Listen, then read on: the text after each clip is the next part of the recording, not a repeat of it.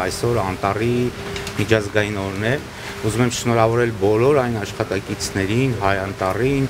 մեր կազմակերպության աշխատակիցներին եւ բոլորիս Անտարի օրվա կապակցությամբ, որովհետեւ ինչպես գիտենք, երկիր մոլորակի վրա մեր անտառները շատ մեծ դեր են կատարում մեր մոլորակի պահպանման եւ գլոբալ տակածումից մոլորակը պաշտպանելու համար 22 թվականից սկսած կազմակերպությունը Երևանի քաղաքապետարանը հիմնական 4 ռեֆորմ է իրականացնում Երևանի կանաչ ֆոնդի հետ կապված, որովհետև այն ինչ արվել է Երևան քաղաքում կանաչ ֆոնդի հետ, այսպես փոքրիկ ծրագրեր, փոքրիկ ծառատունկներ, առանց մտածելու տարբեր վայրերում ծառեր տնկելու, առանց ռոռոկման համակարգով այդ վայրերը ապահովելով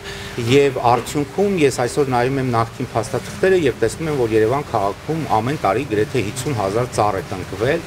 բայց լինելով Երևանի կանաչապատման ղեկավարը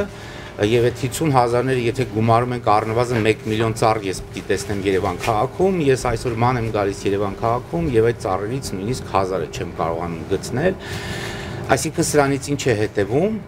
որ ռեֆորմներից առաջինը վերաբերվում էր նրան, որ այլևս Երևան քաղաքը չի ներկրելու այդ շիվերը, ինչը որ ժամանակին տնկվում էր Երևան քաղաքում, որովհետև դրանք այդպես էլ ծառեր չէին դառնում։ Երևանը ձեռք է բերում շուրջ 10 տարեկան հասուն կայացած արդեն ձևավորած սաղարթով եւ ֆունկցիոնալության առումով մեծ ֆունկցիոնալություն ունեցող եւ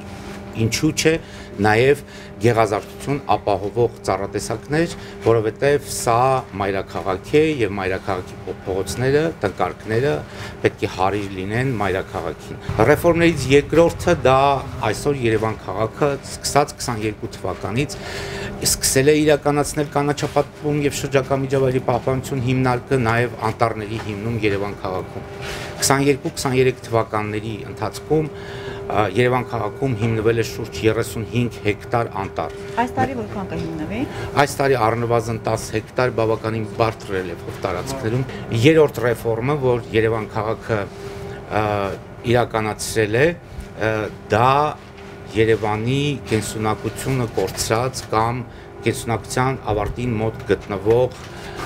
եւ ինվազիվ ծառերի փոխարինման ծրագիր։ Ընդլայնվում է ջերմոցատնկարանային տնտեսությունը Երևան քաղաքի, որը կապահովի Երևանի բուսազանգվածի 80-ից 90%-ը եւ վստահաբար կարող եմ ասել, հանրապետության նաեւ մյուս քաղաքներին կարող է բավարարել այդ պահանջը եւ ինչու՞ չէ նաեւ հետագայում նաև երբ որ մենք մեր հարցերը կլուծենք, նաև տարածաշրջանի այլ երկրների կարող է մատակարարել որակյալ ծառեր։